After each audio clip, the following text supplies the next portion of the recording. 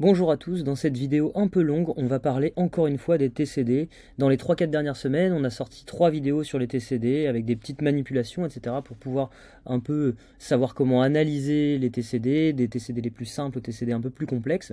Et là, c'est exactement ce qu'on va faire, on va le faire de manière beaucoup plus complète en répondant un petit peu, pour ajouter un peu de, ludique à tout ça, en répondant à des questions, donc des questions très simples au début et des questions qui vont se complexifier au fur et à mesure. On va pouvoir un peu manipuler et découvrir les, joies des TCD, les, choses qu'on peut faire avec les TCD.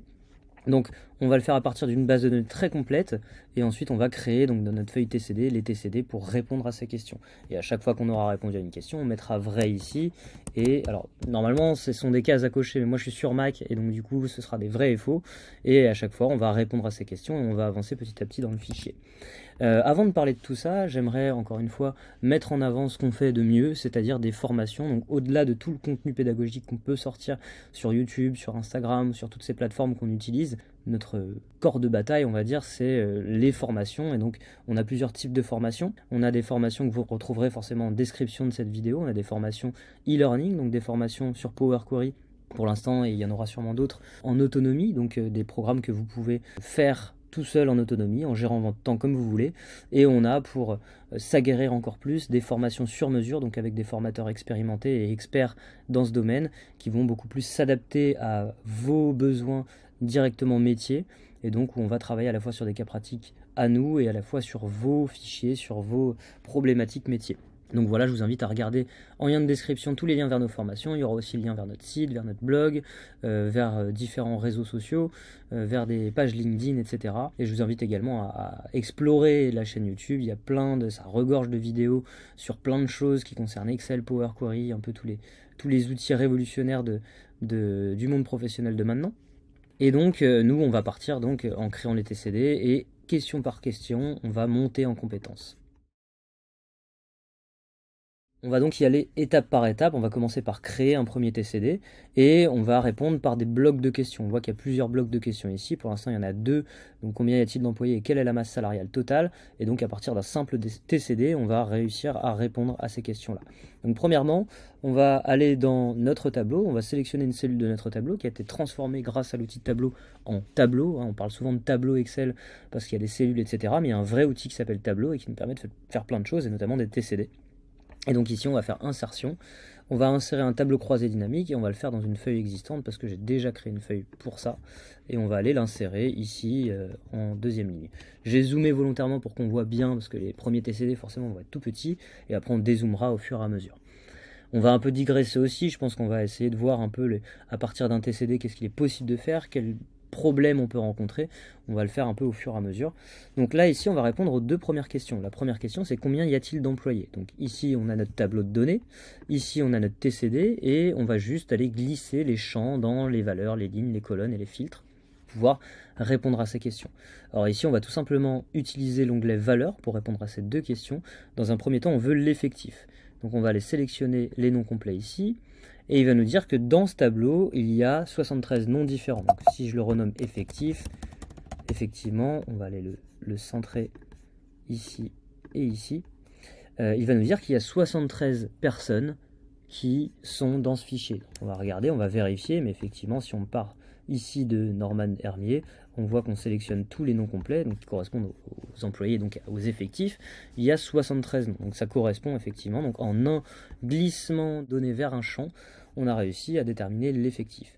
On va juste changer ici le type de tableau croisé dynamique, le style, pour mettre un style que nous on aime bien. en général, on va chercher dans le clair ici. Hop, on va voir que bon, pour l'instant le TCD, il n'y a qu'une donnée, mais que ça va être quand même un peu plus esthétique, un peu plus beau. Donc ça, c'est la première question. On a répondu à la première question, à savoir les effectifs. Ça correspond, je vais le centrer aussi, ça correspond à 73 personnes qui font partie de cette entreprise fictive. On va aller dans l'analyse, on va mettre vrai. encore une fois, moi, normalement, ce sont des cases à cocher, mais la, la fonctionnalité n'existe pas encore sur Mac. Donc moi, je vais faire avec des vrais et faux. Ça va se mettre en bleu. On a répondu à la première question. Et là, on a 1 sur 2 et 1 sur 26. La deuxième question, c'est quelle est la masse salariale totale, donc la somme des rémunérations, donc quelles sont les charges en termes de rémunération de toute l'entreprise? Donc ici, on va enlever les noms complets et on va y intégrer juste les rémunérations. Donc on voit qu'ici, il y a une colonne de rémunération avec les rémunérations de chaque employé annuel. Et donc on va tout simplement aller glisser ce champ dans l'onglet valeur, encore une fois. Et on voit qu'automatiquement, elle va nous mettre la somme. Alors, forcément, euh, là ici, ce sont des, nombres euh, de, des, des rémunérations, donc il va aller automatiquement chercher la somme. On pourrait juste essayer de voir la rémunération moyenne, on pourrait ça on le verra plus tard dans le, fichier en fonction des questions. Donc ici on a la rémunération, pour lui ajouter un peu de, de, lisibilité, on va aller faire un clic droit sur cette rémunération et on va changer le format de nombre pour mettre un format monétaire sans décimale, pour que ça nous affiche bien, effectivement on a 3 550 711 euros de rémunération totale dans l'entreprise pour l'instant, par an. Et donc on a répondu à la deuxième question. On va mettre vrai ici. Et ici on va passer donc au deuxième bloc. Alors on va pouvoir grâce au plus et moins, à l'outil groupé ici, euh, faire des plus et moins pour ouvrir les blocs sans que tout soit ouvert et que ce soit illisible. Et on va répondre donc dans un second temps aux euh, trois prochaines questions. Alors les trois prochaines questions, elles vont impliquer une nouveauté, c'est-à-dire que ici, dans nos premiers tableaux croisés dynamiques, on a utilisé uniquement le champ des valeurs pour avoir des résultats directement, à savoir le nombre d'effectifs et euh, la somme totale des rémunérations. On aurait pu utiliser autre chose, on aurait pu faire le nombre de services, l'âge moyen, etc. Euh, de l'entreprise. Donc c'est sur des résultats totaux euh, qu'on a, qu'on a travaillé et donc on a utilisé que le champ valeur. Et ici, on va aller rajouter un critère. Donc dans les lignes, on va essayer de savoir par exemple l'effectif en fonction d'un critère. Et pour cela, donc on va remettre les noms complets, donc on va enlever les rémunérations et on va remettre les noms complets pour avoir les effectifs. On va renommer encore une fois ça euh, effectif. Et les effectifs ici, donc on va même pouvoir mettre effectif ici, comme ça ils vont l'actualiser dans notre TCD. On va juste actualiser le TCD ici, alors c'est vraiment un truc voilà, et on voit que là, ici, il y a les effectifs. Donc on va plutôt marquer effectif, ça va être plus simple. On va donc mettre les effectifs en valeur et on va lui rajouter des critères en ligne en fonction des questions qu'on nous pose. Euh, il y a trois questions. Ici, il y a savoir s'il y a plus de femmes que d'hommes, savoir dans quelle ville il y a plus d'employés, et ensuite dans quel service il y a le plus d'employés. Et on va y répondre tout de suite. On va rajouter donc, au début, donc on va mettre les genres pour savoir les effectifs, mais en fonction des genres. Donc il y aura toujours 73 ici au total, mais ici on aura le nombre de femmes, et le nombre d'hommes. Et on voit ici, donc, on a répondu à la, première question, à savoir, il y a donc 33 femmes et 40 hommes. Donc, dans cette entreprise, pour le moment, il y a plus d'hommes que de femmes. Donc, on l'a fait juste en mettant les genres en ligne. Et donc, il va nous calculer donc au détail l'effectif en fonction des femmes, enfin en fonction du nombre de femmes et euh, le nombre d'hommes, pour avoir toujours le total général ici qui sera de 73. Et 40 plus 33, évidemment, ça fait 73. Donc là, c'est assez simple. Donc on a répondu à la question. Donc il y a plus d'hommes que de femmes pour l'instant dans cette entreprise. Et on va le faire avec plusieurs autres critères. Encore une fois, c'est en fonction des questions, mais on pourra le faire pour tout. Donc on va enlever les gens, et ici on va y glisser les villes. Et on voit que là, il y aura, donc là pour l'instant, il n'y a que deux villes en gros dans ce, dans ce tableau. Mais si on, en rajoutait une troisième, par exemple, si ici je rajoute Nantes, Jean-Philippe Potier il est à Nantes, et que j'actualise mon tableau croisé dynamique, donc toujours, on clique sur une cellule du tableau croisé dynamique et il y a deux onglets contextuels de création et d'analyse. Et on va juste actualiser et on va voir que ici Nantes il y aura une personne qui sera à Nantes. Et pareil donc si on rajoute des employés euh, qui viennent d'autres horizons qui viennent d'autres villes ça nous rajoutera automatiquement en actualisant ces données là et pareil si quelqu'un déménage ou si euh, quelqu'un euh, part de l'entreprise il y aura toujours une actualisation qui se fera à condition d'actualiser ici et donc ici on voit que, alors je vais juste remettre Paris ici pour pas... Voilà. Et donc si on réactualise, normalement ça me fait que Paris et Montrouge, et on voit effectivement qu'il y a plus de personnes à Paris qu'à Montrouge. Il y a 57 personnes qui sont à Paris, il y a 16 personnes qui sont à Montrouge. Donc on a répondu à la deuxième question. Et ensuite, dernière étape, on va toujours faire la même chose, donc on va garder les effectifs en valeur, et on va ici, non pas mettre les villes, mais on va savoir maintenant par service quelle est la répartition de l'effectif en fonction des services. On voit ici qu'il y a trois services qui ont 11 personnes qui possèdent, qui ont 11 personnes dans, leur, dans leurs équipes, c'est le service de développement, le service marketing et le service des produits. Donc ici, on a répondu pareil à la question. On voit par exemple que le service le moins représenté, c'est le service juridique, où ils sont que 3. Euh, le service logistique, il n'y a que 5 personnes. Euh, les autres, donc autres services, il y a 4 personnes. Et sinon, voilà, on est sur des, euh, c'est relativement équivalent. Il y a 11 personnes donc en développement, 9 en commercial, etc. Donc on peut faire le détail facilement de tout ça. Et la seule chose qu'on a faite finalement, c'est juste, là je vais mettre juste euh, service.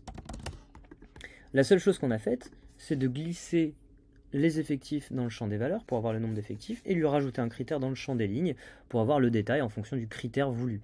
Donc on a fait par genre, on a fait par service, on a fait par ville et donc on a répondu aux trois questions. Ici, donc c'est pas dans quel service il y a, il y a le plus d'employés, c'est dans trois services différents, à savoir le développement, le marketing et le produit. Donc voilà, là on a fait deux choses. On a d'abord utilisé le champ des valeurs pour avoir des résultats totaux, et maintenant on a rajouté des critères en utilisant le champ des lignes. Maintenant, on va changer, donc ici par défaut, l'effectif, il le fait, donc il va calculer le nombre de lignes, et là on va essayer de jouer justement avec la synthèse des valeurs. Euh, je vais vous expliquer tout de suite dans les, prochaines questions. Donc il y aura trois nouvelles questions. Les questions seront quelle est la rémunération moyenne, l'âge moyen et l'âge de l'employé le plus jeune? Dans les prochaines questions, on va repartir sur des TCD donc sans utiliser le champ des lignes, avec des résultats totaux, mais on va changer la nature du résultat total. C'est-à-dire que là, pour l'instant, sur la rémunération, il allait nous chercher directement la somme des rémunérations. Sur les âges ou sur euh, les effectifs, il allait nous chercher un nombre. Et donc, on va jouer justement avec ça pour répondre à ces différentes questions. Donc ici, on va tout enlever, on va repartir de zéro.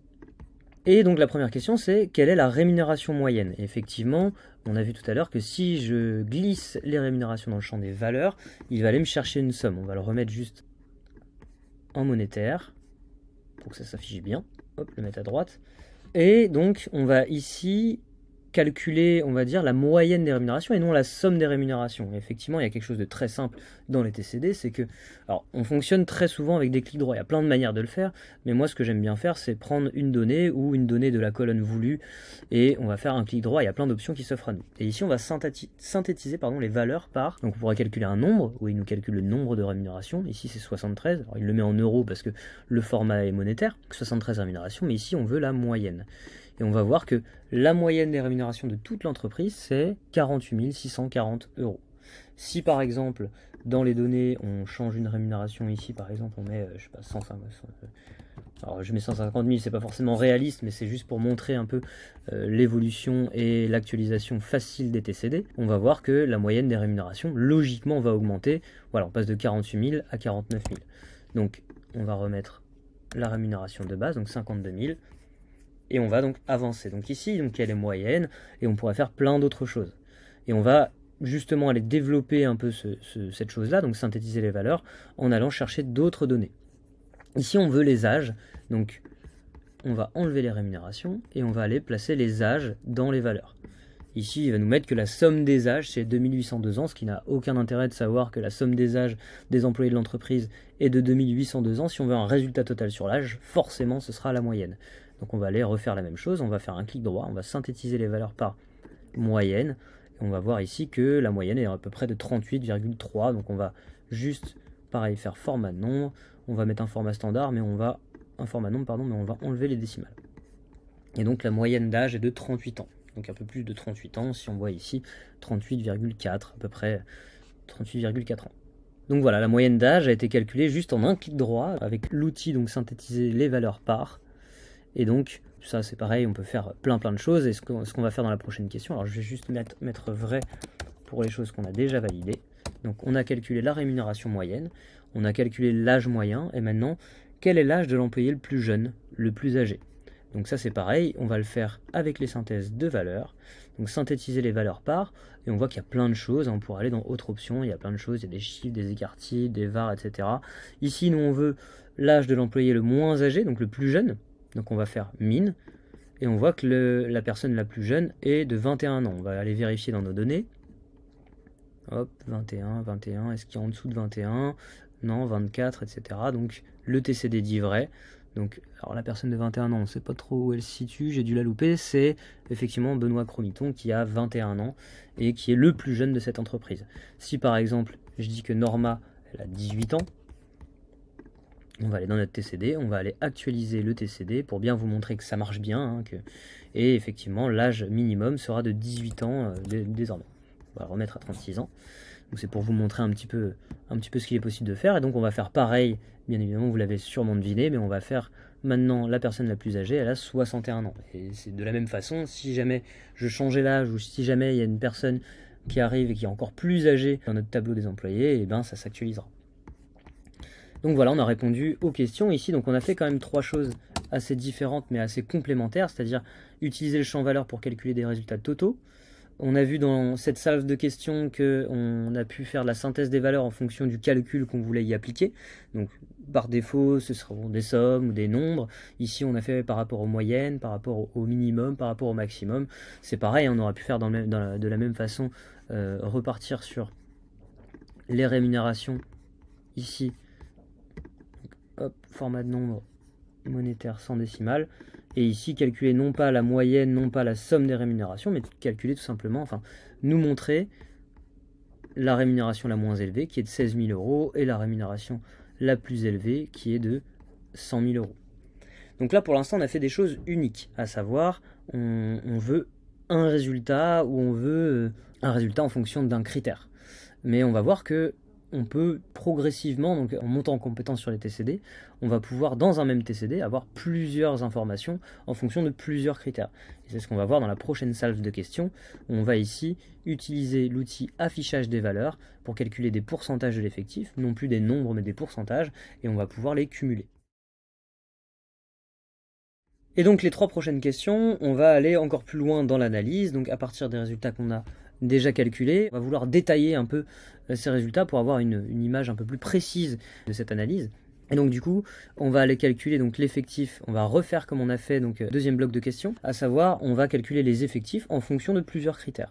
Donc là ici, ça va être euh, en fonction des genres, ici en fonction des services, et ici encore une fois en fonction des genres. Mais on va calculer non pas le nombre d'effectifs selon les genres ou selon les services, on va vouloir calculer le pourcentage correspondant. Et donc on va repartir de 0. Ici on veut les effectifs, donc ça va nous mettre le total des effectifs. On veut les genres en ligne pour avoir le détail des effectifs en fonction des genres, en fonction de si c'est une femme ou un homme. Donc on a toujours le même résultat que tout à l'heure, 40 euh, hommes et 33 femmes. Et ici on va faire un clic droit pour aller lui dire qu'on va afficher les valeurs non pas en nombre, mais en pourcentage, du total général. Et ici, on n'aura pas donc le nombre de femmes ou le nombre d'hommes, mais on aura le pourcentage de femmes et le pourcentage d'hommes. Donc effectivement, 40 hommes sur 73, ça correspond à 55%, et 33 femmes sur 73, ça correspond à 45% environ. Donc euh, effectivement, ce sont des chiffres à virgule, mais ici, pour des questions de lisibilité, on n'a pas forcément besoin des virgules pour que le calcul soit hyper hyper précis. Et donc ici, on a calculé le pourcentage de femmes et le pourcentage d'hommes. Le problème, c'est que nous, alors c'est pas un problème, mais pour aller encore plus précisément et pour rendre le tableau bien lisible et l'analyse bien lisible, ce qu'on va faire, c'est qu'on va pas juste afficher les valeurs différemment. On va donc on va revenir en arrière. On va laisser les effectifs ici et on veut juste en plus d'avoir le nombre précis d'hommes et de femmes, on veut en plus avoir le pourcentage correspondant. Et donc pour ce faire, on va juste rajouter une deuxième fois les effectifs dans l'onglet valeurs. Ça va nous rajouter une. Donc là ici on va effectif effectif. Et ici, on va mettre pourcentage effectif.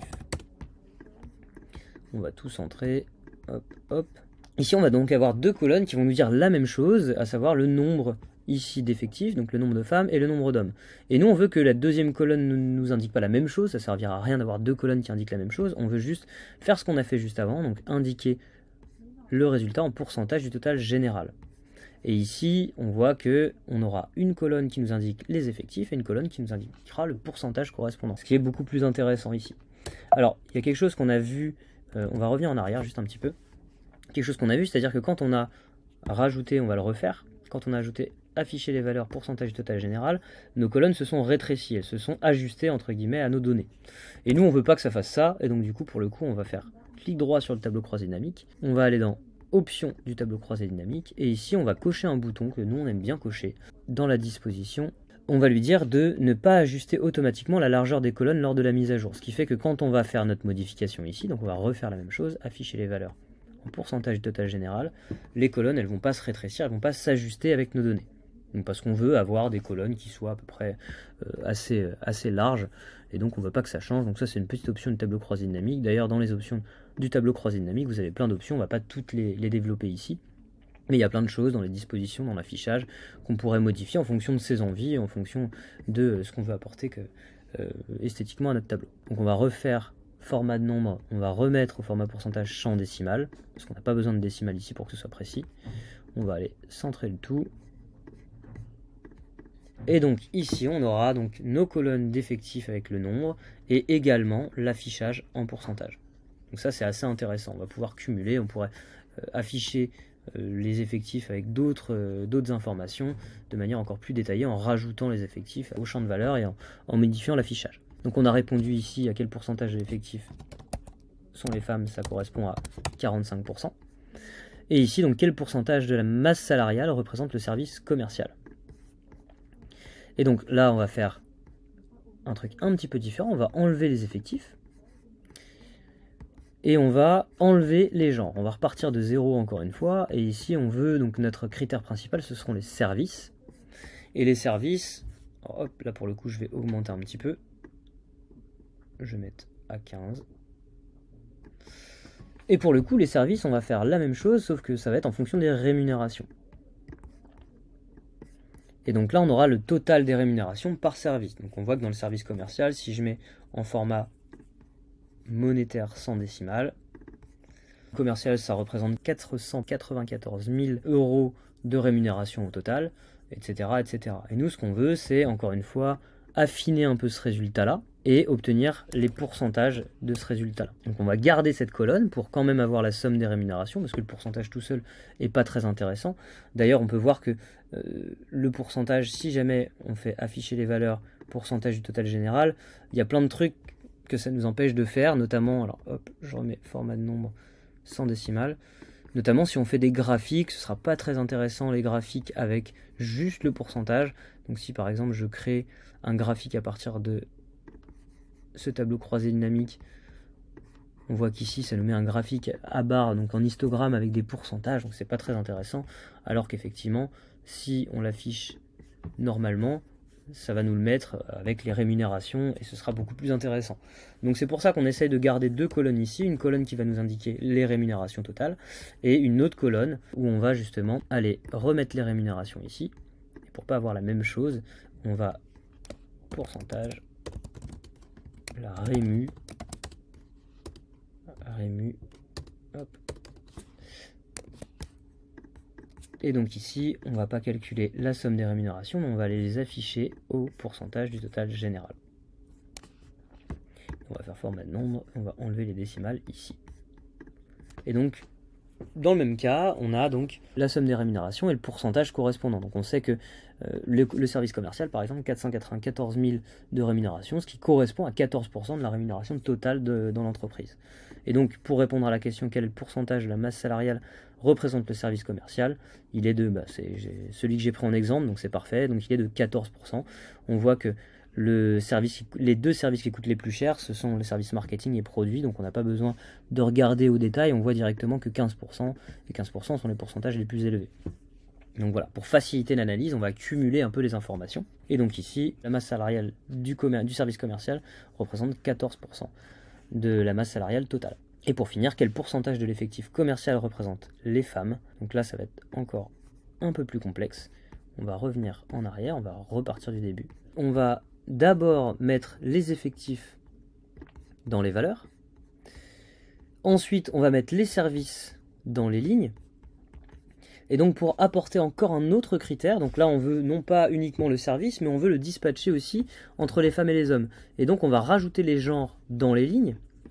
Et ici on va voir qu'on va créer une sous-catégorie, donc il y aura les surcatégories qui seront les services, et à l'intérieur de ces services, on aura le dispatch entre les hommes et les femmes. On voit que dans le service développement, par exemple, il y a 5 femmes et 6 hommes.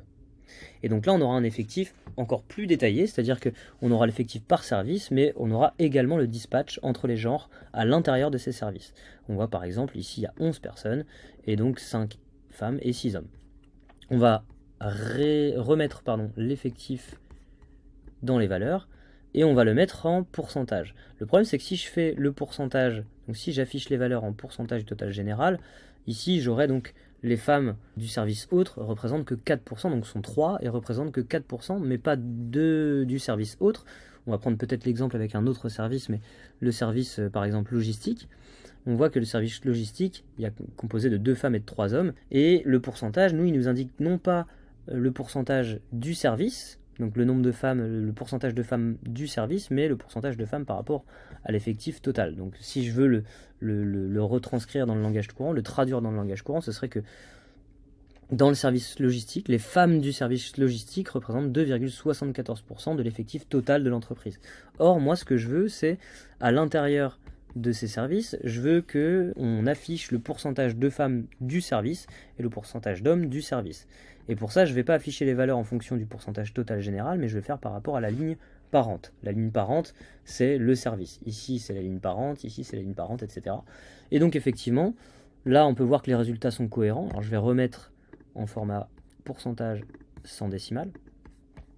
Mais ici, on peut voir que euh, dans le service commercial, il y a 6 euh, femmes et 3 hommes, ce qui correspond donc 6 femmes, ça correspond à 67 sur 9, donc 6 personnes sur 9 sont des femmes, ce qui correspond à 67% du commercial. Ici, pareil pour les hommes, ça correspond à 33% du service commercial.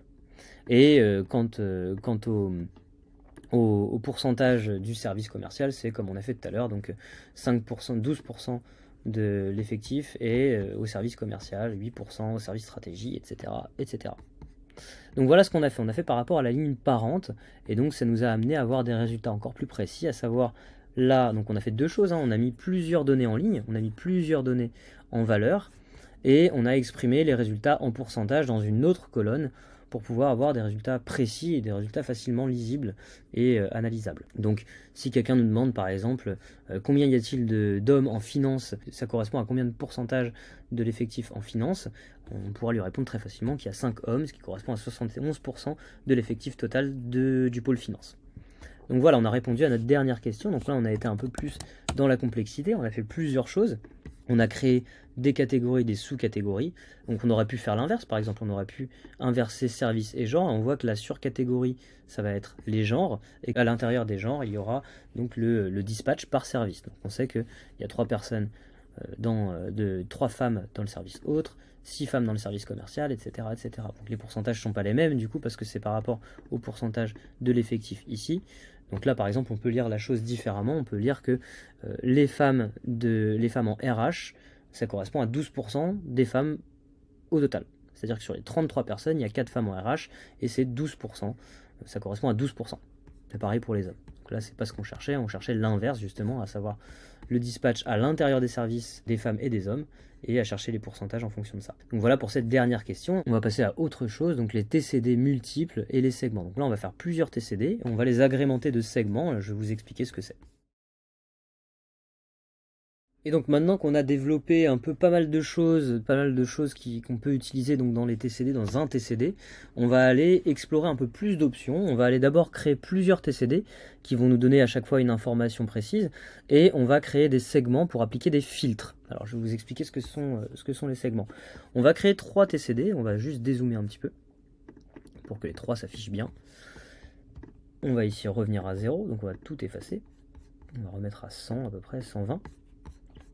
On va créer un premier TCD ici, donc avec les genres. Donc là, on veut juste les effectifs, effectifs par genre.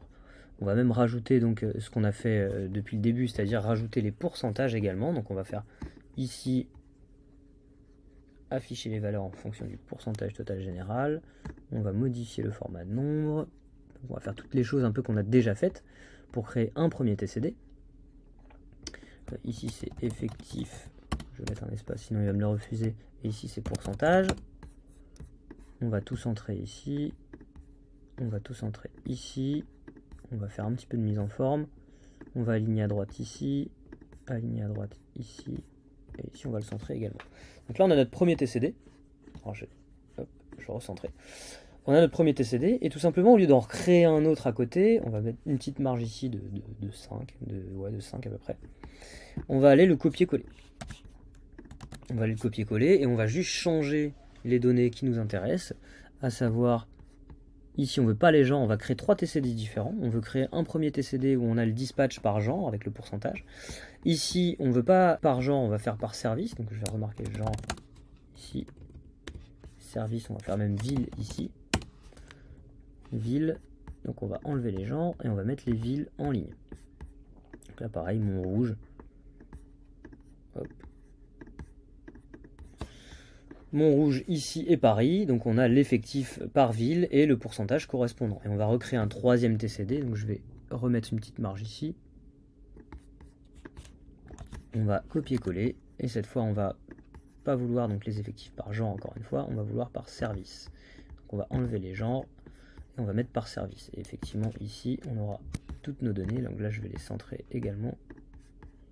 Ici je vais les centrer également on pourrait faire par rapport aux rémunérations, là on l'a fait justement par les effectifs, on aurait pu rajouter des colonnes, hein. on aurait pu par exemple ajouter les rémunérations deux fois pour avoir, si je vais ici, donc en plus du juste des informations sur l'effectif, essayer d'avoir des, informations sur la rémunération. Donc là si par exemple je fais format de nombre et que je mets en monétaire sans décimale, en monétaire sans décimale, donc là, je veux par exemple pas la somme des rémus, mais euh, synthétiser les valeurs, donc la moyenne des rémunérations. Ici, je veux le pourcentage correspondant, donc là, ça va être rému, et ici, ça va être pourcentage. Donc je veux le pourcentage, il me l'a fait automatiquement. Donc, je vais mettre pourcentage 2, sinon il va me le supprimer. Et donc là, je vais faire synthétiser les valeurs, afficher les valeurs, pardon, pour pourcentage total général, ce qui correspond voilà, à ça. Donc là, on a plusieurs informations.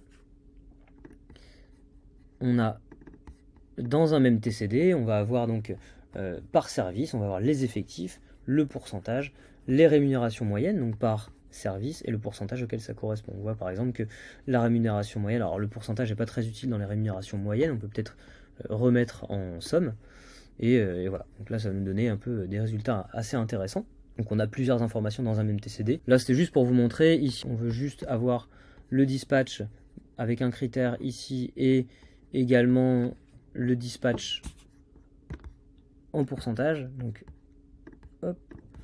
avec le genre, les effectifs par genre et le pourcentage correspondant par ville et par service. Et à partir de ces trois TCD, pardon, on va créer ce qu'on appelle des segments. Donc là, je vais juste mettre une petite marge de ligne au-dessus. Donc je vais insérer des lignes. Un peu plus d'ailleurs, je vais en insérer deux de plus. Et je vais ici y mettre des segments. Des segments, ce sont des filtres visuels, tout simplement. Donc au lieu de filtrer grâce à l'option filtre ici, je vais filtrer pour y ajouter des critères. Et les segments, ça va être tout simple. Donc je vais aller dans l'onglet tableau croisé dynamique ici. Et je vais insérer des segments et je vais choisir les segments que je vais insérer. Ici, je vais insérer les mêmes segments, c'est-à-dire le genre, le service, par exemple, et la ville. Et j'ai trois segments qui vont être ici, que je vais aller placer à peu près correctement là-haut voilà, je vais essayer de faire les choses plutôt bien, plutôt carré. Les services.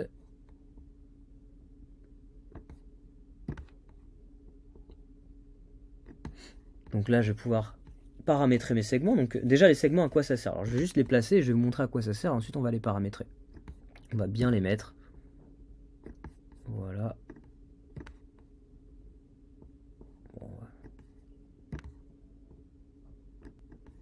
Besoin d'un gros espace. Donc là pour l'instant on en a trois, hein. on va faire en fonction des trois ici. Donc là il y aura plusieurs services, on va laisser un peu de marge ici et je vais vous montrer un peu ce qu'il est possible de faire. Les segments ici, ça sert à quoi? Ça sert justement, en fonction de notre TCD, à filtrer très facilement. Donc ici, on veut les informations, mais que pour les femmes. Donc on va filtrer ici femmes. Donc là, forcément, le segment, il est rattaché à ce tableau croisé dynamique. Donc la première chose à faire, c'est qu'on va aller rattacher tous les segments pour qu'ils fonctionnent sur tous les tableaux croisés dynamiques. Et pour ce faire, on va juste faire un clic droit. On va aller dans connexion de rapport et on va lui dire que ce segment, donc les filtres qui vont être appliqués, vont, vont être appliqués sur tous mes TCD qu'on a créés. On va faire pareil pour celui-ci. Et on va faire pareil pour le dernier ici. Donc voilà à quoi servent les segments. Donc par exemple, ici je veux uniquement les personnes que tous mes TCD euh, se rapporte uniquement aux personnes qui sont de Montrouge. Et donc, si je clique sur Montrouge, donc là forcément dans euh, le TCD des villes, il va m'afficher que les données de Montrouge, mais ici il va me dire que toutes les personnes qui sont à Montrouge sont celles-ci. Donc il y a 7 personnes en finance, 3 dans le juridique, 6 en stratégie. on va voir notamment que les services commerciaux, etc., les commerciaux, développement, etc., il n'y a personne à Montrouge de ces services-là, ils sont tous à Paris. Et donc, on va enlever les segments, on va juste les paramétrer un petit peu. Euh, ici, je vais garder ça comme ça. Ici, je vais rajouter plusieurs colonnes pour que tous les segments soient affichés. je vais les augmenter un petit peu pour que ce soit à peu près de la même taille. Voilà. Donc là, on va les mettre à peu près de la même taille tous. Donc on va se référer à celui-ci. On voit qu'il y a une hauteur de 1,25. Donc on va mettre 1,25 également ici pour que ce soit un peu plus propre. Donc on a l'habitude d'essayer de faire des choses relativement propres. Ici pareil, 1,25, c'est déjà le cas. 1,25. On veut que les villes, donc quand on clique sur le segment, on voit qu'il y a plusieurs, plusieurs choses qui, nous sont, qui nous sont données. Là pareil, les villes, alors il y en a 3, mais on va en afficher 2. Ici à Nancy, parce que je l'avais rajouté tout à l'heure, hein, on pourrait très bien lui dire dans les options du segment que toutes les valeurs qui existent on ne veut pas les afficher, indiquer visuellement les éléments sans données, masquer les éléments sans données. Voilà, par exemple, là, pour qu'il masque Nantes, euh, on pourrait enlever, donc là, on pourrait rajouter plusieurs villes, mais, euh, mais au final, ça, nous convient bien comme ça. On voit que là, il y a un service qui manque, donc on va baisser celui-ci et on va rajouter un petit peu d'espace ici pour qu'il affiche peut-être comme ça, hein, tous, les, tous les services. On pourrait faire bien mieux, hein, c'est un, premier exemple que je donne. Peut-être même mettre un truc ici pour que ce soit plus simple. Voilà mon rouge Paris. Et ici on aura nos trois segments qui seront en haut de nos tableaux croisés dynamiques. Peut-être qu'on va juste rajouter une ligne ici. On va les répartir horizontalement. On va les aligner maintenant qu'ils sont tous la même hauteur. On va les aligner en haut. Pour que ce soit vraiment pour qu'ils commencent exactement au même endroit. On pourra rajouter ici aussi une ligne. Voilà, que ça commence exactement au même endroit. On va les répartir horizontalement pour qu'ils aient le même écart les uns entre les autres. Donc pareil, hein, aligné ici. On les sélectionne. Moi, ce que je fais, c'est que je, les sélectionne donc en utilisant Shift. Hein. On en sélectionne 1, puis 2, puis 3. Et ici, on va pouvoir les aligner en les répartissant horizontalement pour qu'ils aient exactement le même écart. Encore une fois, on pourrait faire bien mieux. On pourrait changer le style. On pourrait ajouter d'autres segments. Pour l'instant, à partir de ces trois euh, données, on va tout simplement utiliser trois segments qui sont les mêmes et on va les affilier à chacun des tableaux croisés dynamiques. Alors, nous, ce qu'on veut ici, le problème qu'on a ici, c'est que si par exemple je veux uniquement les données qui concernent les RH, donc ça va nous intéresser ici pour avoir le dispatch par genre et par ville. Donc on voit que les RH sont tous à Paris par exemple. On voit qu'il y a quatre femmes et deux hommes dans ce service-là mais on voit que ça modifie aussi ce tableau-là. Donc nous, on n'a pas forcément envie que ça le modifie. Donc c'est-à-dire qu'on va utiliser les connexions de rapport justement pour que bah, le segment des genres n'impacte pas le TCD des genres, mais qu'il impacte les deux autres, que celui des services n'impacte pas euh, les services ici. D'ailleurs, on va inverser service et ville, parce que ça me paraît logique, vu que les TCD sont placés dans cet ordre, que ce soit la même chose. On va les réaligner en haut on fait tout un peu euh, à l'instant là pour l'instant. On va les réaligner en haut et les répartir horizontalement. Et donc que le, segment des genres n'impacte pas le TCD des genres, que le segment des villes n'impacte pas le TCD des villes mais les deux autres, et que le segment des services n'impacte pas celui des services. Donc pour le coup, on va faire les connexions de rapport et on va supprimer, alors je ne sais pas lequel est lequel, hein. Tableau croisé dynamique 2, donc on va dire que celui-là, ça n'impacte pas. Voilà par exemple là, euh, on voit qu'on a beau sélectionner femmes et hommes, celui-ci reste de marbre parce qu'il n'est pas connecté au segment, ce qui nous paraît logique hein, de, garder les informations ici et de ne pas les, enlever. Ça ne sert à rien d'utiliser un segment sur un TCD qui a le même critère, mais que ça impacte les deux autres. Ici, si je mets homme, on voit qu'il y a 5 personnes, 5 hommes à Montrouge, 28 hommes à Paris. On a le dispatch par service. Et, euh, pardon, c'était les femmes. Et là, les hommes, pareil, il y a 11 hommes à Montrouge, 29 à Paris. Et donc on peut avoir une vue précise de tout ça avec ici les pourcentages, ici les effectifs. On va faire pareil ici avec les connexions de rapport. Donc on va aller enlever le TCD des villes au segment des villes. Ce qui fait que quand on clique sur Paris, ça n'impacte pas ce segment-là.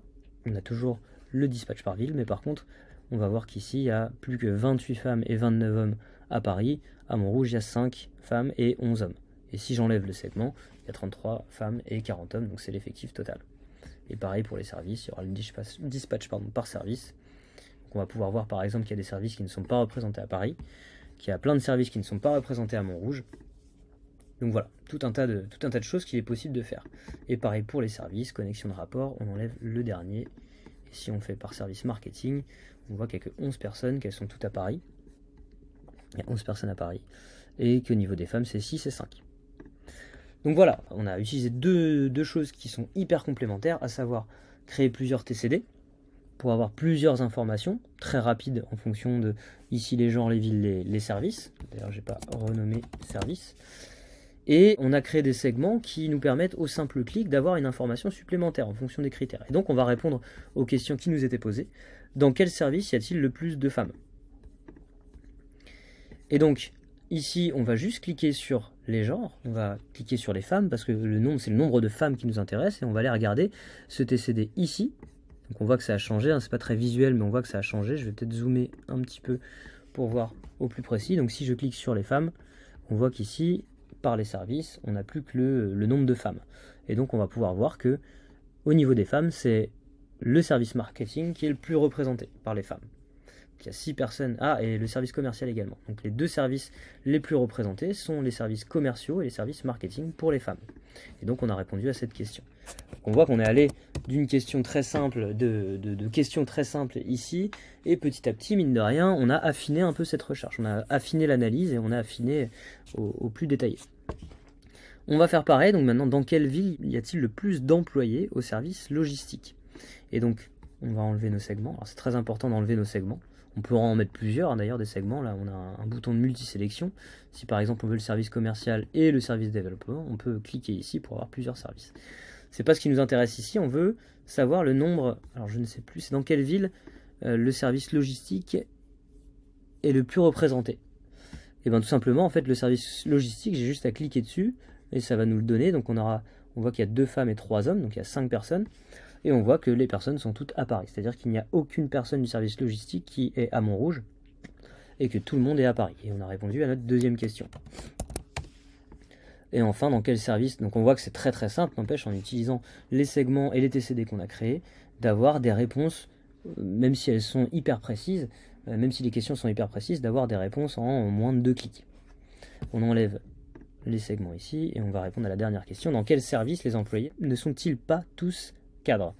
Alors, ici nous demande un autre détail, c'est-à-dire qu'on va devoir créer un autre segment. On va repartir de ce segment-là. On va faire analyse tableau croisé dynamique. On va insérer un segment et on va lui dire, euh, je crois que c'est statut, voilà, cadre et non cadre. On va disposer le segment ici. On va lui mettre 1,25 comme les autres on va les aligner vers le haut, tous, prendre souci du détail, et on va les répartir horizontalement. Et donc, il nous demande ici dans quel service les, les employés ne sont-ils pas tous cadres. Donc on va cliquer sur non cadre ici. On va d'abord faire les connexions de rapport, parce que là ça n'impacte que le premier TCD. Donc on va aller dans la connexion de rapport, on va juste supprimer ici, on va aller dans connexion de rapport, et on va les, lier, donc les connecter à tous les TCD. Et ici, non cadre, et on va pouvoir savoir donc euh, dans quel service, avec un S, tous les services où il y a des, euh, des, employés qui sont non cadres. Dans le service commercial, il y a deux personnes qui sont non cadres. Dans le service développement, il y a trois personnes qui sont non cadres, etc., etc. Il y a des services, par exemple, ici on voit que c'est grisé. Les services qui sont autres, finance, logistique, stratégie, on voit que toutes les personnes sont, euh, sont cadres. Du coup, si je clique ici, toutes les personnes sont cadres. Les non-cadres, c'est représenté uniquement dans les services commerciaux, développement, juridique, marketing, produits, etc. etc. Donc voilà un peu la, puissance un peu des, segments liés au TCD. Donc là on a vu plusieurs choses. On a vu comment créer facilement euh, trois TCD qui vont nous dire trois choses différentes, mais euh, en, un simple copier-coller et en jouant avec les champs de valeurs, de lignes, etc. On a vu la puissance des segments et des connexions de rapport, donc connecter les segments au TCD qu'on souhaite euh, voir moduler, etc. Et enfin, on a vu qu'on pouvait recréer un segment, on pouvait avoir des données très très précises en fonction de, ce qu'on cherche avec de simples clics, avec l'utilisation des multisélections si on le souhaite, etc., etc. Donc on a vu plein de choses, mine de rien, à travers ces trois questions. On va essayer d'aller encore plus loin dans la prochaine salve de questions. On va utiliser quelque chose qu'on a déjà utilisé, l'affichage des valeurs, mais des affichages un peu plus complexes. Et donc, alors j'ai oublié juste de cocher la dernière.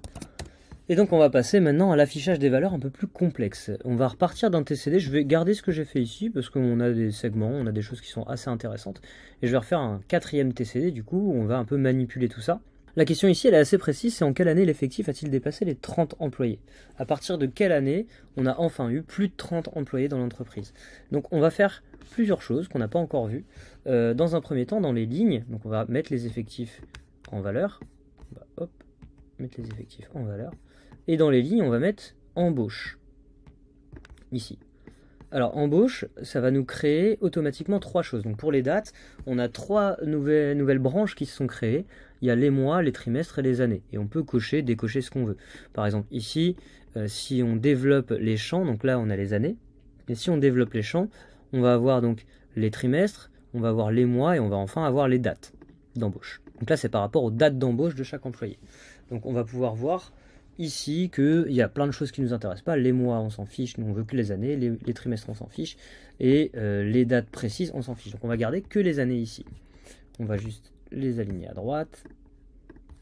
Et donc, les années,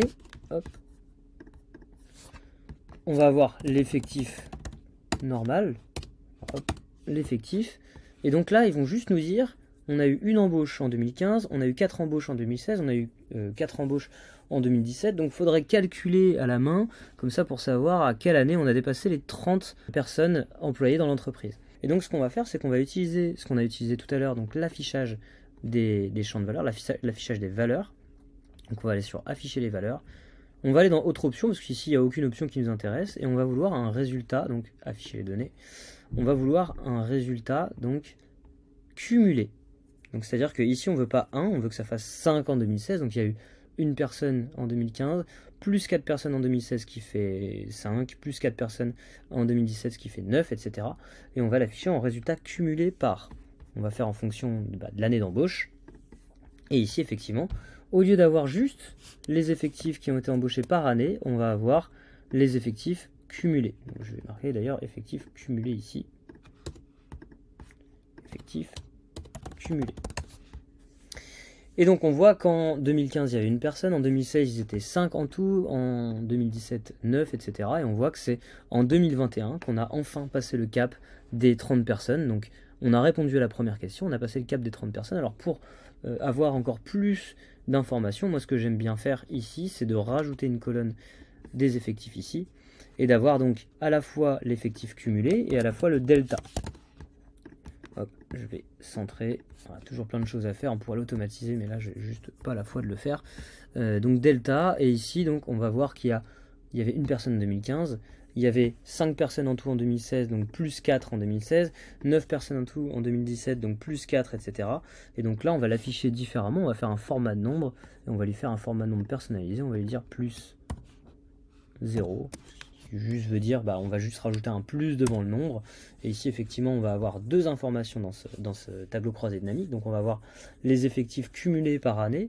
Donc, on voit que en tout, en 2019, ils étaient 19, sachant qu'il y a eu 4 embauches en 2019, donc plus 4. 25, ils étaient en 2020, il y a eu 6 embauches. Et en 2021, il y a eu, 30, il y a eu 8 personnes qui sont arrivées. Et c'est à partir de 2021, du coup, qu'on a atteint le cap des 30, plus, 30 employés plus.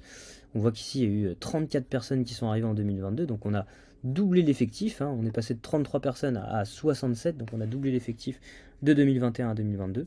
Mais en tout cas, ça nous a permis de répondre à notre première question, à savoir en quelle année l'effectif a-t-il dépassé les employés en 2021 grâce juste à l'option affichage des valeurs. Et on a créé une petite colonne delta pour avoir, encore une fois, plus d'informations.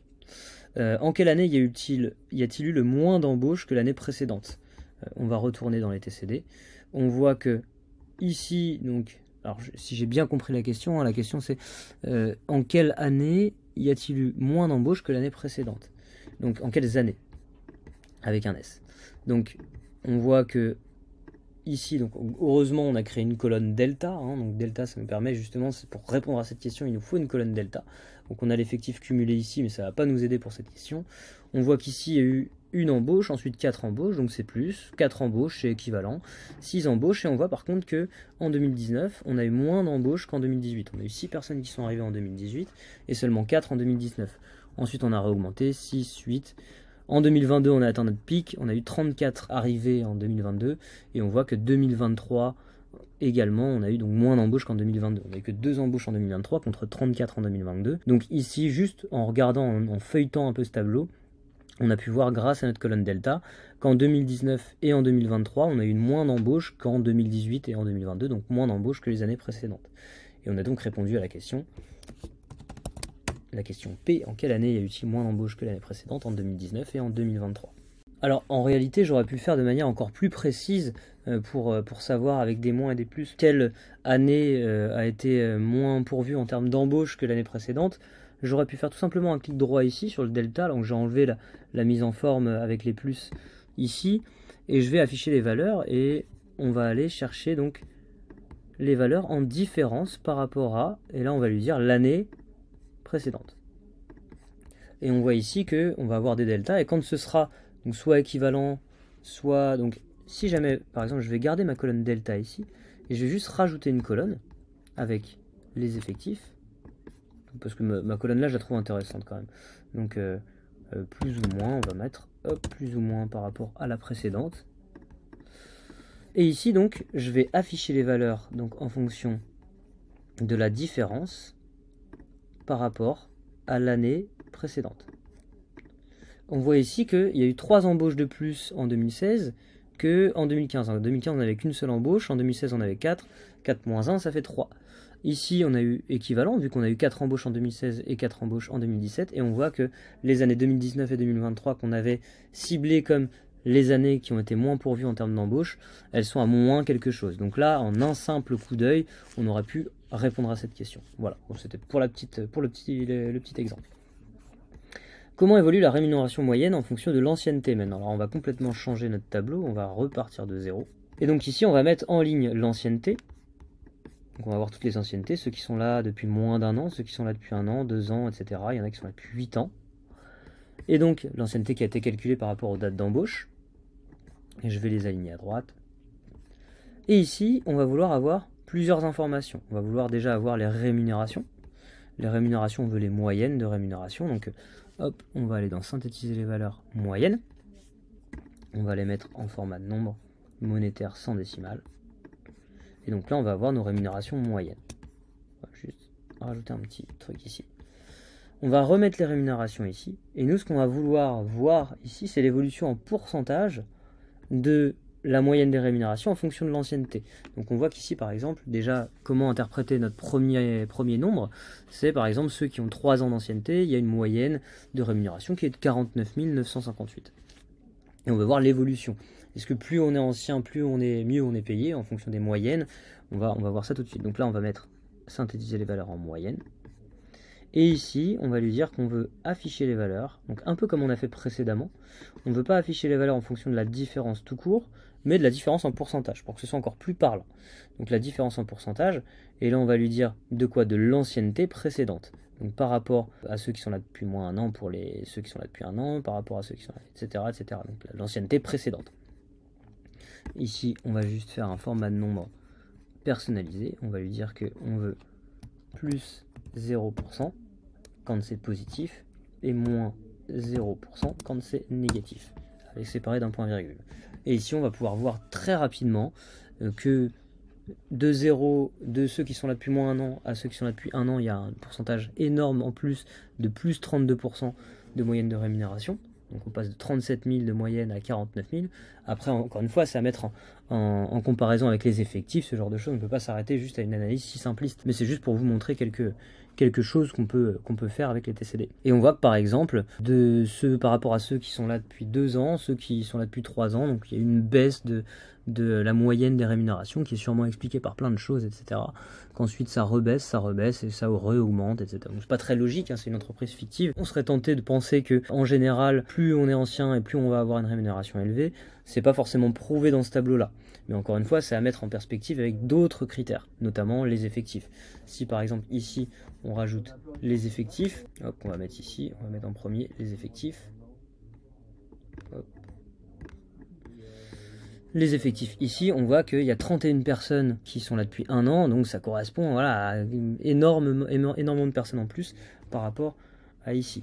ce qui peut expliquer, par exemple, qu'il peut y avoir une seule personne qui est là depuis un an, mais qui est dans un poste très, très prisé et du coup qui a une rémunération qui fait augmenter la moyenne. Encore une fois, c'est à mettre en perspective avec le nombre de personnes pour chaque tranche d'ancienneté et également peut-être le service, certains services qui sont payés, s'ils sont cadres, non cadres, etc. Voilà. là, c'est juste pour vous montrer quelques, quelques petites astuces pour pouvoir bien analyser. Donc voilà pour cette question Q et on va passer donc à grouper les lignes et des colonnes. Et donc pour les trois questions de ce bloc, ce qu'on va faire, c'est qu'on va devoir euh, créer un TCD qui aura comme principal critère l'âge. On voit qu'ici les questions, c'est dans quelle tranche d'âge est-il le plus employé, quel pourcentage de l'effectif représente les trentenaires, quelle tranche d'âge, là là là. Et donc on va créer un tableau croisé dynamique, donc en fonction des âges, les âges qu'on va placer en ligne. Et ensuite, on va lui ajouter plusieurs choses. Donc là, le problème, c'est que les âges, si on les met comme ça, il va prendre en référence cette colonne ici, la colonne des âges, et il va juste nous, donc, nous lister les âges uniques qu'il y a dans cette entreprise. Donc, on voit par exemple qu'il y a personne qui a 23 ans, parce qu'entre 21 et entre 22 pardon, et 24, il n'y a personne. On voit qu'il y a personne qui a 57 ans. Par exemple, si ici, au lieu de 55, je mettais 57, et que j'actualisais mon tableau croisé dynamique, donc le 57 apparaîtrait directement en bas dans les occurrences. Donc là c'est pas ce qu'on veut ici, euh, on veut tout simplement avoir quelque chose de plus précis. Si on crée un tableau croisé dynamique avec juste les âges et le nombre d'effectifs par âge, ce serait pas très intéressant, d'autant plus qu'il y a très certainement dans une entreprise avec seulement 80 employés, 73 employés, il y aurait plein d'âges avec qu'une personne, et l'analyse serait pas forcément très pertinente. Donc ce qu'on va faire, c'est que pour aller catégoriser un peu en fonction des âges, on va créer des tranches d'âge.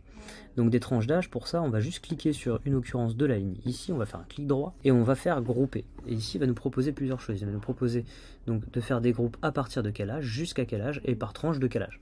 Donc ici, on va faire des trucs un peu plus ronds, donc 20, 60 et par tranche de 10 et il va nous créer nos catégories d'âge en fonction de dizaines d'années. Donc là par exemple des 20 à 29 ans, des 30 à 39 ans, des 40 à 49 ans, etc. Et on va aller insérer nos totaux dans les champs de valeur. Dans un premier temps, la première question c'est dans quelle tranche d'âge a-t-il le plus d'employés Donc là ça va être en fonction des effectifs. on va faire comme d'habitude, on va juste mettre les effectifs en valeur ici.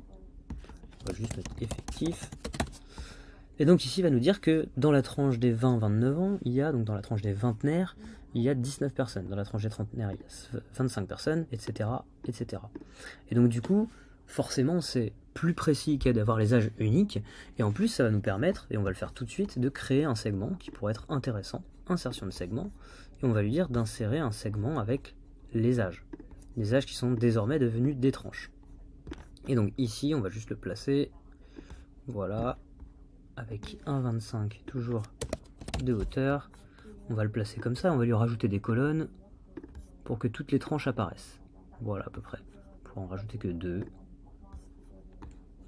Voilà, je pense que c'est à peu près tout. Il y a 6 tranches d'âge, donc il y a en dessous de 20, mais il n'y a personne. Mais on ne sait jamais. De toute façon, encore une fois, le tableau est amené à bouger. L'idée, c'est que tout ce qu'on est en train de faire ici, ça puisse s'actualiser facilement si les données ici changent, s'il y a des ajouts de personnes, etc., etc. Là, ici, on a créé nos tranches d'âge et on a répondu d'ores et déjà la première question, donc dans quelle tranche d'âge a-t-il le plus d'employés Et là, si on, vérifie au fur et à mesure, on voit que la tranche d'âge des trentenaires est la plus représentée, suivie de celle des gens entre 20 et 29 ans, etc. etc. Et il n'y a que deux personnes qui ont au-dessus de 60 ans, et il n'y a que 14 personnes et 13 personnes qui ont entre 40 et 60 ans. Et donc, on a répondu à la première question.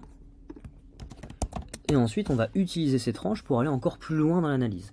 Nous, ce qu'on veut ici, c'est également connaître la le pourcentage de l'effectif. Donc on va faire quelque chose qu'on a déjà fait, c'est-à-dire réintégrer les effectifs en valeur pour donner une deuxième, un deuxième axe de vue, à savoir les pourcentages.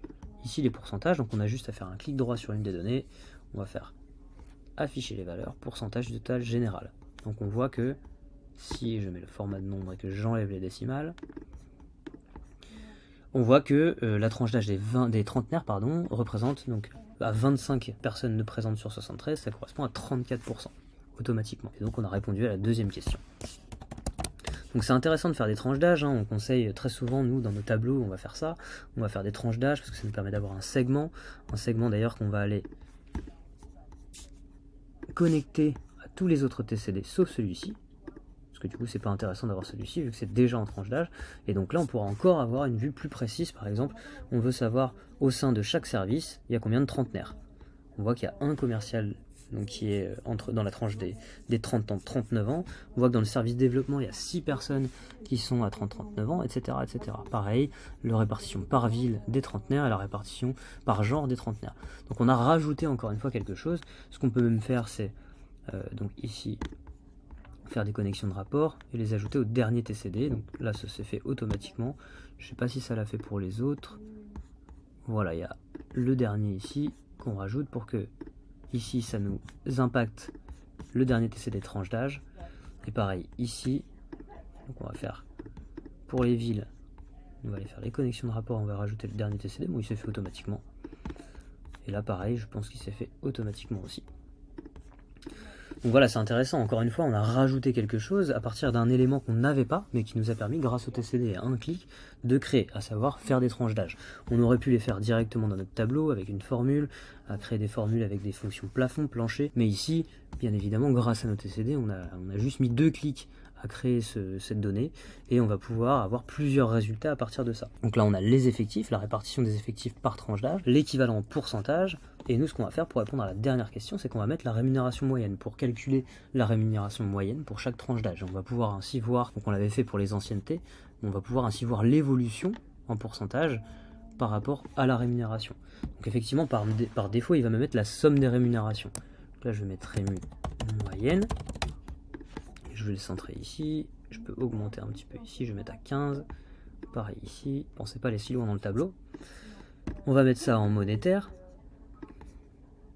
Et surtout, on va faire ça en moyenne de rémunération. Ça ne nous intéresse pas de savoir que dans les 20-29, on dépense. Enfin, ça pourrait nous intéresser, mais en tout cas, dans ce cas précis, ça ne va pas nous intéresser. Donc, on va les synthétiser en moyenne. Et on va voir qu'en moyenne, les 20-29 ans, ils sont payés 28 000 euros que les 30-39 ans ils sont payés 41 000 euros, que les 40-49 ans. Donc on voit déjà qu'il y a une logique un peu plus logique du coup. On voyait que l'ancienneté, l'ancienneté n'avait pas forcément de rapport avec l'évolution des rémunérations, notamment dû à des différences d'effectifs de, en fonction des gens euh, qui sont là depuis 5 ans, 8 ans, etc. Donc il y avait des grosses différences.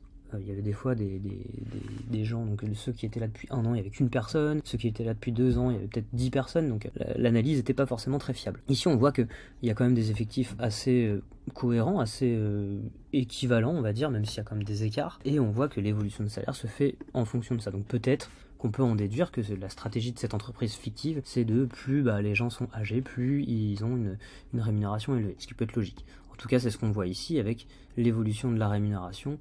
Donc là, on passe de 28 000 à 41, puis à 61, puis à 70, puis à 89. Il y a une évolution constante en fonction de l'évolution de l'âge.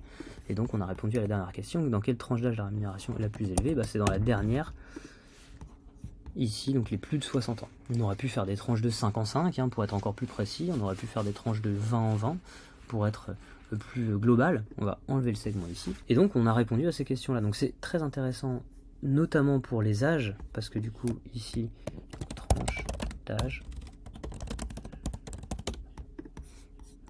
notamment parce qu'ici les échantillons sont, quand même assez limités, il n'y a que 73 personnes, il pourrait y avoir 10 000 personnes, là on pourrait faire âge par âge, mais même ça n'aurait pas forcément d'intérêt.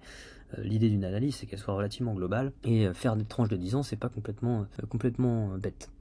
Donc on pourrait faire pareil par exemple pour les rémunérations, hein. on pourrait créer des tranches de rémunération et puis ensuite faire des calculs en fonction de plein d'autres critères. Ici on a décidé de le faire pour l'âge pour montrer un peu la puissance de l'outil groupé et à partir juste d'un petit groupé comme ça, voir qu'est-ce qu'on peut calculer Donc, ce qu'on peut calculer, c'est ici, on a, en, trois petits euh, glissements de, de, données vers un champ. On a calculé l'effectif, on a calculé le pourcentage de l'effectif, et la moyenne de rémunération, tout ça par tranche d'âge. Donc là, c'est assez intéressant. On va passer à la suite. Je vais sûrement digresser dans les deux prochains blocs parce qu'il y, a encore plein de choses à dire, hein, bien évidemment. Et puis n'hésitez pas après en commentaire aussi à faire des, à poser vos questions. On se fera une joie d'y répondre. On pourra forcément pas tout explorer. Il y, aura forcément des oublis.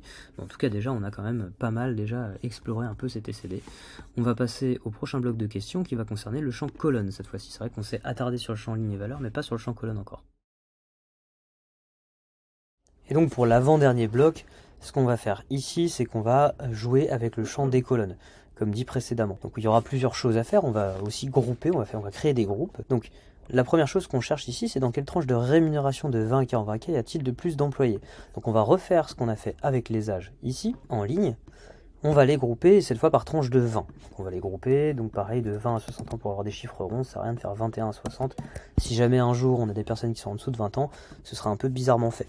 Et là on va le mettre juste par tranche de 20. Ce qui fait qu'on n'aura que deux tranches d'âge, les plus de 20 ans et les plus de 40 ans. En tout cas, les moins de 40 ans et les plus de 40 ans. Et les plus de 60 ans également, vu qu'il y en a deux. Et donc, ici, on va juste vouloir avoir les effectifs. Donc, on va le faire ici. Donc, on va aller dans valeur et on va avoir le dispatch par rapport à ces deux tranches d'âge. Donc, il y a 44 personnes qui sont entre 20 et 39 ans et 27 personnes qui sont entre 40 et 60 ans. Donc, ici, on a répondu ici. Donc, dans quelle tranche de rémunération? Bah, C'est dans les moins de 40 ans qu'il y a le plus d'employés. Il n'y en a que deux qui ont plus de 60 ans et 27 qui sont entre 40 et 60. Donc en gros 29 qui ont plus de, de, 40 ans et 44 qui ont plus, qui ont moins de 40 ans, qui ont plus de 20 ans et moins de 40 ans. Donc on a répondu à la première question et là ce qu'on va faire c'est que pour les prochaines questions on va jouer avec les colonnes. Tout d'abord on veut un dispatch au sein de ces tranches d'âge, on va vouloir un dispatch par genre, savoir combien de femmes composent les 20-39 ans et combien d'hommes composent les 20-39 ans et pareil pour les 40-60 ans et pareil pour les plus de 60 ans. Donc on va y intégrer les genres mais cette fois si on le faisait en ligne on pourrait avoir le résultat, mais pour que ce soit un peu plus clair et qu'il n'y ait pas besoin de, faire 10 000 manipulations, on va le faire en colonne. Et ici, donc, on aura en ligne les âges, donc en fonction des tranches de 20 en 20. Et ici, on aura, en plus du total général, on aura les nombres de femmes et le nombre d'hommes. On voit ici, par exemple, qu'il n'y a aucune femme de plus de 60 ans, qu'il y en a 18 dans la tranche des 20-39 et 15 dans les 40-60. Pour les hommes, c'est pareil, il y en aura 26 dans les 20-39 et 12 dans les 40-60. On va pouvoir comparer un peu ça. On va pouvoir savoir que dans la tranche des 20-39, on a plus d'hommes que de femmes, alors que dans les 40-60, on a un tout petit peu plus de femmes que d'hommes. Donc là, c'est pas mal ce qu'on a ici. On va pouvoir répondre à la deuxième question. Dans quelle tranche de rémunération y a-t-il le plus d'hommes? Dans la tranche des 20-39 ans. Il y a plus de personnes dans les 20-39 ans de base, mais il y a aussi plus d'hommes dans les 20-39 ans, alors qu'au niveau des femmes, c'est relativement régulier. Et donc pour la dernière question, donc dans quelle tranche de rémunération y a-t-il le plus d'employés de 40 ans et plus? Là, on va créer des tranches de rémunération et on va également rester avec nos tranches d'âge. Nos tranches d'âge, alors ce qu'on va faire, c'est qu'on va enlever les genres ici. On va y intégrer les rémunérations en ligne et les âges en colonne. Ça va être plus simple parce qu'on n'a que deux tranches d'âge. Ici, donc, on a les 20-39 ans, les 40-60 ans et les plus de 60 ans. Sauf que même problème que pour les, âges, euh, les rémunérations, il va nous les donner de manière unique. Donc on aura à chaque fois un employé par rémunération parce qu'ils ont tous des rémunérations différentes. Donc on aura 73 rémunérations, ce qui n'est pas facile à analyser. Et donc dans ce cas-là, ce qu'on va faire, c'est qu'on va aussi grouper ici. On aurait pu grouper en colonne, on aurait pu faire l'inverse, mais là je vais les grouper en ligne, ça me paraît plus simple. Et on va faire de 20 000, toujours dans l'idée d'avoir des chiffres ronds, à 100 000, par tranche de 10 000. Et donc là, pareil, il va nous créer des tranches d'âge, donc ceux qui sont payés entre 20 et 30 000, ceux qui sont payés entre 30 et 40, etc. etc. Et le dispatch par tranche d'âge. Donc on voit que ça correspond un peu à ce qu'on avait vu tout à l'heure en fonction des rémunérations moyennes, à savoir que plus les gens sont jeunes, moins ils sont payés, et plus les gens sont euh, vieux entre guillemets, plus ils vieillissent en tout cas, plus ils sont payés. Et donc on va pouvoir répondre à la question de dans quelle tranche de rémunération y a-t-il le plus d'employés de 40 ans et plus? Donc on voit que les 40 ans et plus c'est cette colonne là. Alors on y a intégré aussi une autre euh, catégories de rémunération qui sont les plus de 60 ans, mais bon, euh, dans la mesure où ils sont deux, on s'en fiche un peu ici. Et donc on va pouvoir voir que les tranches d'âge les plus représentées dans, la, dans les 40-60 ans, ce sont les, ceux qui sont payés entre 50 et 59 000 et ceux qui sont payés entre 60 et 70 000. Donc, entre guillemets, si on faisait par exemple des tranches de rémunération, au lieu de les faire de 10 000 en 10 000, on les faisait de 20 000 en 20 000, on verrait que la tranche la plus représentée par les plus de 40 ans, c'est euh, les 60-80 000. Donc là, c'est un peu différent. On va rester de 10 000 en 10 000, c'est un peu plus simple. On voit que les, deux les plus représentés, à une personne près certes, mais ce sont les tranches entre 50-59 000 et 60-69 000.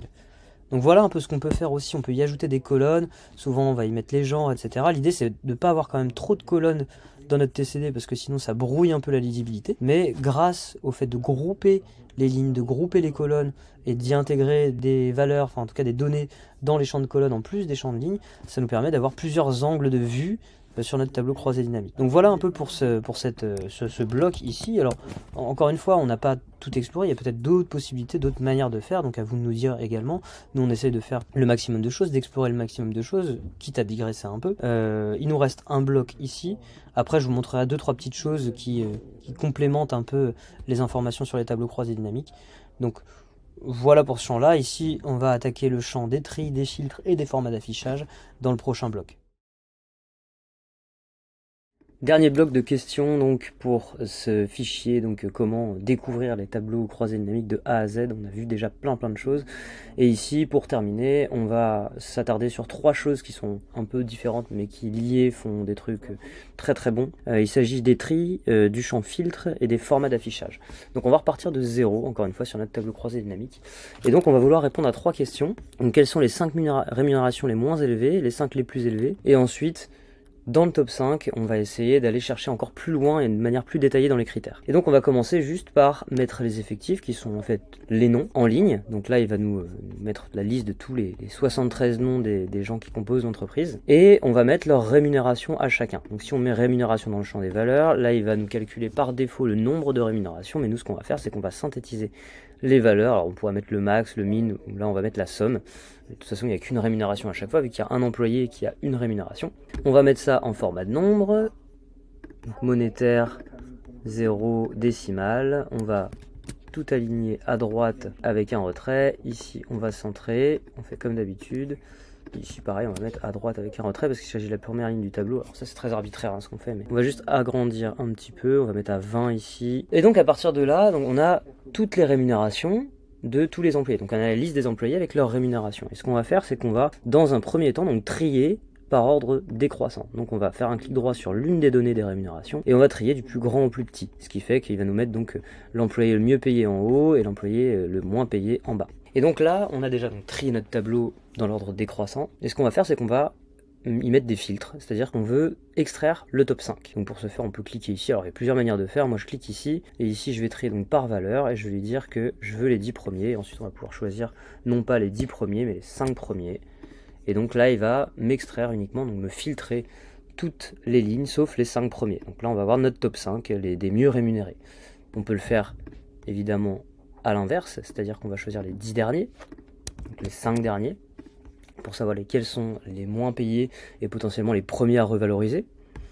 Mais on va rester donc là pour l'instant on a répondu donc euh, aux questions aux, deux premières questions, donc quelles sont les cinq rémunérations les moins élevées et les plus élevées. Donc là on a fait très rapidement le combo tri filtre pour obtenir le top 5 des gens les moins payés ou des gens les mieux payés de l'entreprise et qui soient triés par ordre décroissant. Donc euh, celui qui apparaît en haut a la rémunération la plus élevée, celui qui apparaît en bas a la rémunération la moins élevée. Et donc on va aller plus loin, donc on va remettre les 10 premiers, on va choisir les 10 premiers, les 5 donc c'était déjà fait, je crois. Et ce qu'on va faire, c'est qu'on va rajouter des critères. On veut, donc on, sait que Vincent Redon, il a 100 000 euros, admettons. On aimerait potentiellement savoir donc euh, si c'est un homme, une femme, dans quelle ville, dans quel service, etc. Donc là, on va euh, se baser sur trois choses. On va se baser d'abord sur le statut. Donc s'il est cadre ou non cadre, donc logiquement les mieux payés ils sont tous en cadre, on n'a pas utilisé encore les statuts, donc on va le faire ici. Et donc ça apparaît comme ça, hein, comme on avait fait. Donc quand on met deux données dans les lignes, ça nous fait une surcatégorie, une sous-catégorie. Et ici ça s'affiche un peu bizarrement parce que ça nous double la rémunération, on aimerait que ça s'affiche un peu différemment. Donc ce qu'on va faire c'est qu'on va aller dans création, donc on clique sur une cellule du tableau croisé dynamique, on va dans création on fait la disposition des rapports et on va le mettre sous forme tabulaire. Ce qui fait qu'effectivement, il va nous faire un peu comme si on était en colonne, c'est-à-dire que on va avoir le nom, son statut. Euh, le problème, c'est qu'il va afficher des sous-totaux. Donc, ce qu'on va faire, c'est qu'on va aller dans sous-totaux ici, tout en haut à gauche, et on va faire ne pas afficher les sous-totaux. Comme ça, ce sera bien fait, c'est-à-dire que on va pouvoir avoir le nom, son statut et la somme des rémunérations. Et là, on peut ajouter des données. Par exemple, euh, je vais prendre le genre ici pour savoir si c'est un homme, une femme. Donc là, on voit que Vincent, c'est un homme. il y a deux femmes qui sont dans le top 5, trois hommes. Et pour finir, on a dit qu'on allait mettre quoi Les villes? Donc là, on a toutes nos données. Donc on a les sommes des rémunérations. Alors je vais juste renommer tout ça. Hein. Je vais mettre Rému. hop sans le point, ville, c'est parfait, genre, statut, etc. Je vais tout centrer pour que ça s'affiche bien. Hop. Ici, pareil, je vais tout centrer à part. Voilà. Et donc après on pourra utiliser les petits moins comme ça pour euh, désafficher certaines choses. Là ça aurait pas trop d'utilité parce que ce serait un peu bizarrement foutu. On va remettre au centre. Et donc voilà, on a construit notre tableau avec euh, le nom du top 5. Donc là on pourrait marquer que c'est un top 5 par exemple. Le, TCD on pourrait l'appeler top 5. Donc top 5. Donc le top 5 il est composé de ces 5 personnes-là, ce sont 5 cadres, il y a 3 hommes et 2 femmes, il y a 3 personnes à Montrouge, à Paris pardon, et 2 personnes à Montrouge, et là on a le descriptif de leur rémunération. On pourrait faire pareil avec le top 5, on pourrait faire pareil sur d'autres critères de filtre, euh, tous ceux qui sont supérieurs, je sais pas moi, à 80 000 euros, euh, voilà. Mais en tout cas, pour avoir une vue un peu plus détaillée de notre grille salariale, c'est assez simple de savoir ça. On pourra rajouter d'autres choses, on pourra rajouter leur, catégorie d'âge, euh, etc. Donc euh, mélanger un peu tout ce qu'on a vu euh, au sein de ce tableau. Mais en tout cas, ça nous a permis de répondre à la question. combien y a-t-il de femmes cadres parisiennes dans les rémunérations du top 5 Il y a deux femmes, il y en a une à Montrouge, donc la seule femme cadre parisienne ici qui est dans le top 5. Il s'agit de Mélanie Krop ici qui a un salaire de 88 000 euros. Donc voilà, on a répondu à cette question. Donc les questions, elles servent bien évidemment à aller chercher dans le détail en quelques clics après avoir paramétré notre tableau croisé dynamique en quelques clics ou en quelques balayements du regard. On peut savoir donc euh, euh, facilement les réponses et rapidement ces réponses à ces questions. Donc voilà un peu l'idée de, ce cas pratique hein, qu'on avait déjà fait un petit peu en webinaire. L'idée c'était de, de développer d'un niveau de tableau croisé dynamique très très euh, très très sommaire à un niveau de tableau croisé dynamique beaucoup plus élevé. Donc essayer de, découvrir, de développer un peu les compétences sur ce thème-là et potentiellement donc après une fois qu'on redécoupe tout, une fois qu'on utilise certaines choses avec certaines choses, on peut avoir les tableaux croisés dynamiques qui correspondent parfaitement à ce qu'on recherche pour avoir une information en un rien de temps, en un simple clic ou en deux clics. Et donc l'idée était de justement de se rendre compte de ça, d'explorer le champ des possibles un petit peu et, euh, de voir comment euh, vous, pouvez l'adapter dans votre milieu professionnel. Donc n'hésitez encore une fois pas à nous poser des questions en commentaire ou même en message privé sur LinkedIn, sur, tous les, réseaux sociaux qu'on occupe pour avoir des réponses euh, encore plus détaillées, encore plus adaptées à, vos besoins. Voilà, donc c'est terminé pour cette vidéo. Alors juste, effectivement, ensuite il y aurait un autre niveau dans les, dans les TCD. On en fera une vraie vidéo et pas un webinaire, mais sur l'intégration de Power Pivot et DAX dans les TCD qui peut encore amener un champ des possibles encore plus, un spectre encore plus large de possibilités. Et donc euh, ça, vous pouvez le découvrir déjà dans les, vidéos de replay du webinaire, et puis nous, on en refera sûrement une vidéo. En attendant, encore une fois, j'insiste, mais tout ce qu'on a fait ici et tout ce qu'on fait en règle générale sur nos vidéos, ce sont des choses qu'on fait encore mieux et de manière encore plus adaptée à vos besoins euh, dans nos formations. Donc du coup, je vous invite à consulter euh, nos formations sur mesure, donc des formations individuelles avec un formateur qui vous accompagnera tout au long de toutes les séances, de des heures de, de séances pour euh, adapter, pour augmenter votre niveau, pour euh, répondre à des problématiques que vous auriez à, poser et, plein d'autres choses. Donc je vous invite à consulter cette page-là qui sera en description. Je vous invite également à consulter la page de nos formations e-learning, donc là sans formateur avec une flexibilité au niveau du temps qui sera en fonction de ce que vous voulez, hein, car c'est vous qui allez gérer votre temps.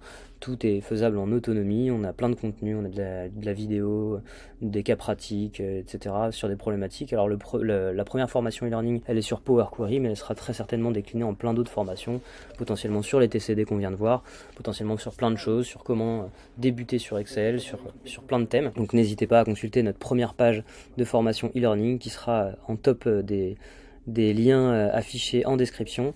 Je vous invite également à vous abonner à la chaîne, je vous invite à, découvrir tout ce qu'il y a à découvrir sur, sur le sujet, à faire vos suggestions. Donc euh, n'hésitez pas à nous contacter, à liker les vidéos, à, consulter nos liens. Donc, donc voilà, et puis j'espère que, que vous aurez appris énormément de choses à travers cette vidéo et que vous en apprendrez encore plus sur les prochaines vidéos.